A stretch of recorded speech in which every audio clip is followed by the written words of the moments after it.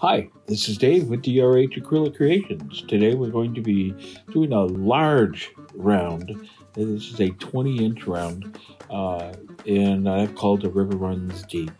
This is my pillow paint going down.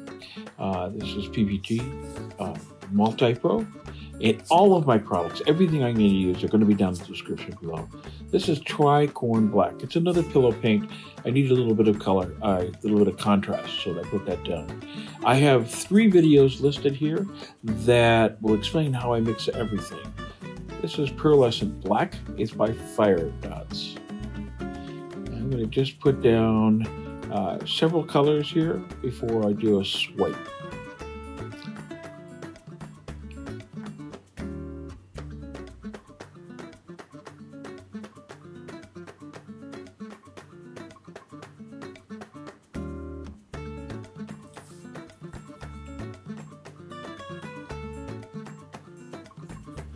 Our next color up is going to be Indigo by Atelier Interactive. You'll see it in the videos, but I, I mix these three parts of my pouring medium to one part paint. And that's all due to consistency. It's, you'll flex either way. Next, we're going to put down some cell activators. Payne's Gray, Liquitex, and Titanium White uh, by Amsterdam. And the colors that are here are uh, the Pebeo uh, blue green, and the uh, second one is the indigo again by Atelier uh, Interactive.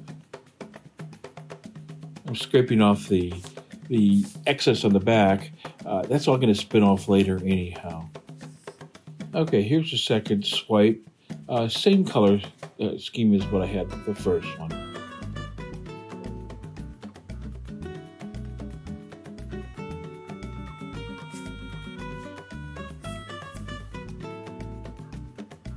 It's the same thing here. Uh, I think the, the other thing I added there was uh, copper, and this is a uh, this is a Firedots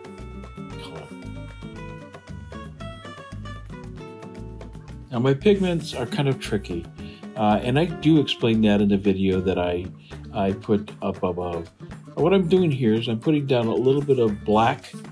This is uh, lamp black by by Amsterdam with three parts Australia Floetrol. What I'm doing here is I'm just creating a scoop section that I can pull some of the cells and put them within the uh, within the painting itself.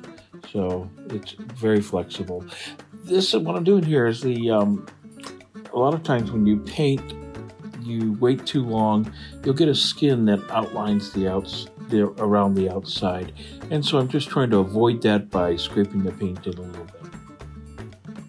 Okay, I'm scooping up a little bit, and what I'm going to do is I'm going to I'm going to lay this in places where I think it needs more interest.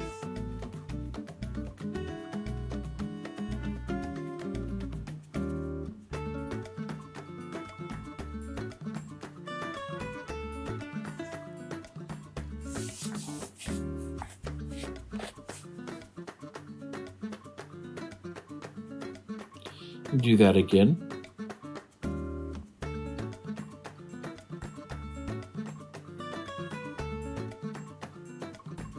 Now don't worry about that corner over there where I have the the other color paints and they, that, that swipe because it's all going to spin off. There's a whole bunch of paint on this on this side this round that needs to come off anyhow, and that will that will go right over the edge. So I'm not worried about that. Okay, I'm showing how I do my soup, scoop, and drags here. I'm going under the paint, picking up the pillow, and dragging it out. I do quite a bit of that here. Just enhancing what's there.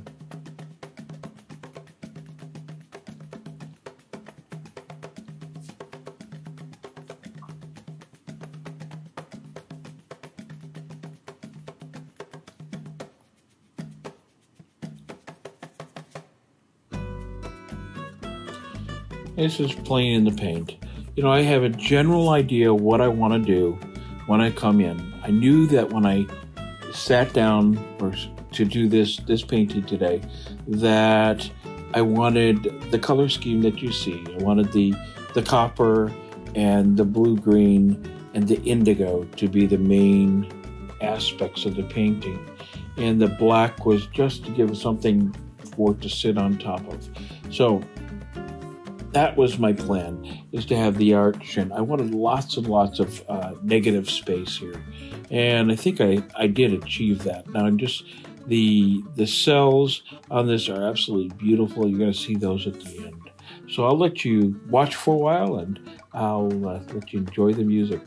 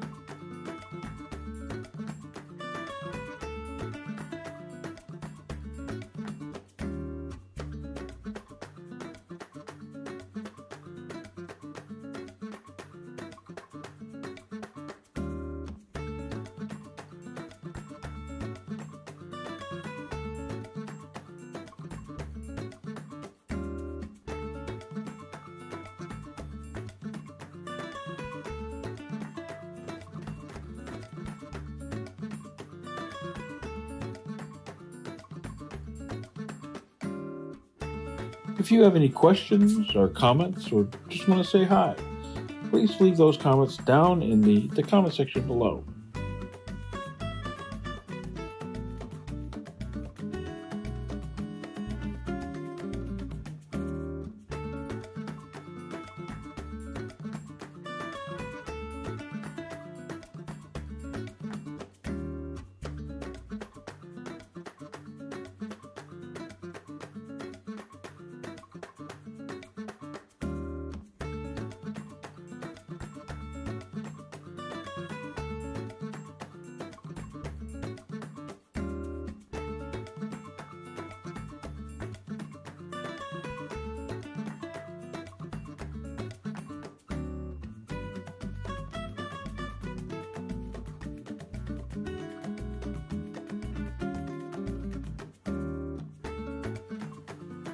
I'm doing quite a bit of stretching here, and uh, the point was to, to try to get as much of the paint over basic areas that I wanted to see them.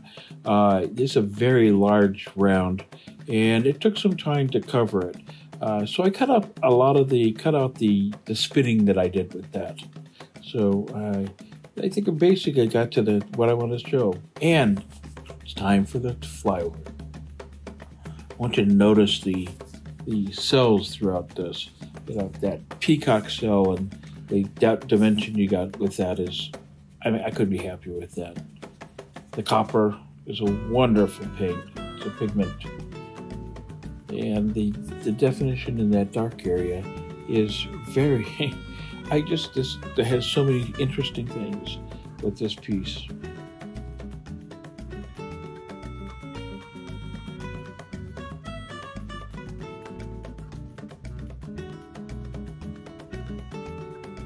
If you found this video today useful, I invite you to leave me a like, subscribe if you haven't already done so, and ring the bell for notification of videos that I'll put out. It's my goal to put out at least two per week, and I'm hoping you'll find them useful and enjoyable.